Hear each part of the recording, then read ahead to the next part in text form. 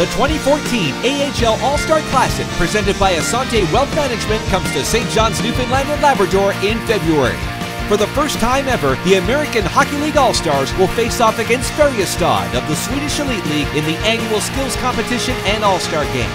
The 2014 AHL All-Star Classic, presented by Assante Wealth Management, is coming on February 11th. For broadcast listings in your area, please visit theahl.com.